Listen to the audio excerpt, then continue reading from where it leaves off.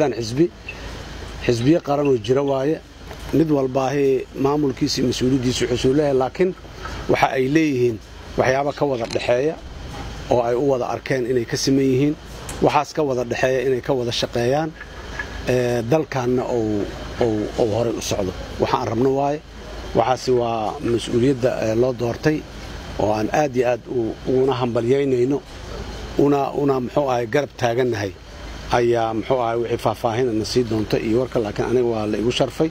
Waxaan rabaa caqabadaas layskuma imaan kara iyo dadka soomaalida kama heshii karaan talada iyo waa ka soo gudubnay maanta. Caddaynay u tahay inaan isku imaan karno wax naga dhexeen aan yeelan karno. Intay doonaan hala ekaadeen. Waxaase waxaa asal u ah marka mabaadi' guud oo iyo muxuu aha ajendayaal iyo qiyam wax laga hadli doono laakiin waxa muhiimka oo aniga aan si gaara maanta raba inaan xus waxay tahay howl aan cusbayn horena loo sheegi jiray. Haddana madashuna ay ku jirto. Xisbiyada gaargaarka oo xataa aanan naga tirsanayn oon madasha ka mid ahaynna xataa ay qabaan aan huba inay qabaan dadka soomaalida ay jecel yihiin oo ah dalkan in dictatoriyad ay ku soo noqoto hal nin uu ka taliyo dadka kalena maxaanku idhahdaay firiista istaaga la yidhaahdo waa ka soo dhammaatay. Taariikhdaas taarikh dib loogu laabanaya ma ah. Dalkan waxaan rabnaa ummadda soomaaliyeedna ay rabaan annaga waa wakhtigii mas'uuliyadda ummadda aynoo dhiibataan aan caddaynay. Dalkan waxaan rabnaa dal dimuqraadi inuu noqdo. Dimuqraadiyaddana maxaa daliil u ah? Ku dhaqanka xeerka sharci in lagu dhaqmo. Wax kasta oo dowladnimadu ay samaynayso waa inay noqdaan wax xeerku qotomo dastuurka ugu weyn yahay? Shuruucda kaleo dalka leeyana ugu weyntahay. Wixii markaas shuruucdii dastuurka laga waayana inta mas'uuliyiinta ama xilaha hayso ama bannaanka ha joogtee dadka codka u ah oo dadka muxuu ahay u ah in laysugu yeero oo laga tashado. Waxaani ilaan baadiyaheenni iyo dhaqankeenni waa qabna soomaha waa xeer waxaani xeerka sidaan sidaan qaba. Hala yeelo xeer uma qabno curato waaye see yeelnaa hadda inta la yidhaha in laga tashado. Wixii xeerka laga waayana waxaan leenaha laga tashado wixii xeerka ku yaallo ama dastuurka ku yaallo ama maxaanku idhahdaa xeerar kale dalkule ku yaallo sida iyiin ha loogu dhaqmo. Waa meelaha aan marar badanna cabashadu ka muujinay dadka soomaalida ay ka muujiyeen dowladda. Laysku cafi maayo marka qofna raalli looga noqon maayo inuu xeerka ku tunto ama darajada ugu sarraysa dalka ha joogo ama darajada ugu hoosaysa ha jooga ama shacab ha ahaado dariiqa taagan ha ahaado.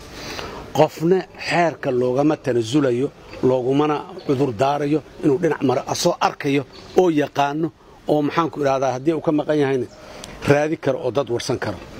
Marka layskuma raaligelinayo taas waxaan rabnaa dadka soomaaliyeedna in ay taas waa ku faraxsannahay dadku inay fahmeen xuquuqdooda ay leeyihiin karaamada ay leeyihiin oo ay bilaabeen inay hadlaan ayagoon qoryo sidanin ayagoon madaafiic ridaynin ayagoon maxaanku idhahdaa duminaynin dalka waxaan leenahay sida dowladduna ha ka jawaabto. Bas mas'uuliyadda saar waxay tahay dadku markay hadlaan inay inta dhegaysato ay ka jawaabto.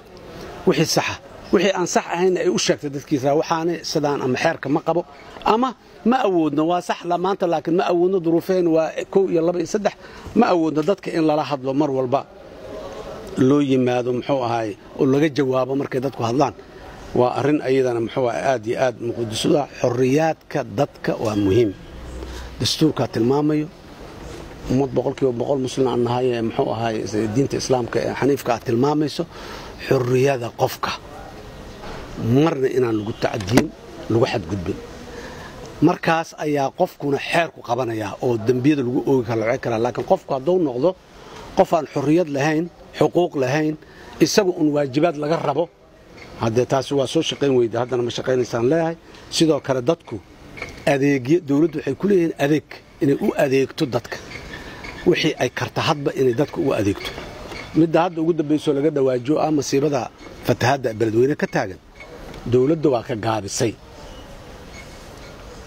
Aniga ma gara karo sida oo madaxdeenna iyo dowladdeenna iyo hay'adaheenna dawliga ah ee dastuuriga ee jiro dadka soomaaliyeed ay ugu sharaxi karaan dowladdu malaayiin doolar oo aan bajetka ku jirin taallooyinay ku dhisi kartaa. Waa soo heli kartaa. Ma aha taallada inay waa xunta aan leehay laakiin malaayiin doolaroo taallooyinka lagu dhisana dowladda waa awoodaa way soo heli kartaa. Dadka reer beledweyne ee biyaha dhex jiifa ee qaarkood ku dhammaadeen qaarna muxuu ahay guryaha oogadooda saaran yihiin waayeelka dusha lagu sido biyaha dhexdooda lala marayane dowladda uma heli karta lacag ee muxuu ahay dadka qaaraan ha la keenay iyo hebel qaaraan ha keenay iyo kan ha keenay dhehaysaa yacni in laysqabadsiiyaa loo baahan. Waxay daliil u tahay xasaasiyad dadka ayaa dowladdeena ka maqan. Dadka dhibaatada iyo culayska ay qabaan mushaakilaadka ay qabaana ka maqan. Marka waxaan leenahay dowladdeenni inay ku baraarugsanaato ee wax dowlo waxay macno ku leedahay dowlad u tahay markay ka jawaabto dadka intay kari karto wixii aanay kari karin maxay uu dowladdu u yeeli weyd waa dowlad daciifa dowlad maxaa curdana hadda dhalanayso waa dowlad tabar yar dhaqaaluhu ku yaryahay wax badan imkaan cadaawo badan balaayo badan ku dhinacyo badan ka haysato waa qirayna waxaasoo dhan. Laakiin haddana waxbaan ku tuumsannahay weli ay karaanaa jiro. Wixii ay kareen inay karaanaan rabnaa. Wixii ay karaan ay awoodi karaan inay kasaanaan rabnaa. Kasmadii waa waxaan tuumsannahay dowladdu inay ka maqan tahay kartiyaradii ku eedayn laakiin kasmadii iyo dareenkii iyo shucuurkii soomaalinimada iyo la tacaadufidii dadka waayo waxa aan ku tuumsannahay annaga inay maqan yihiin.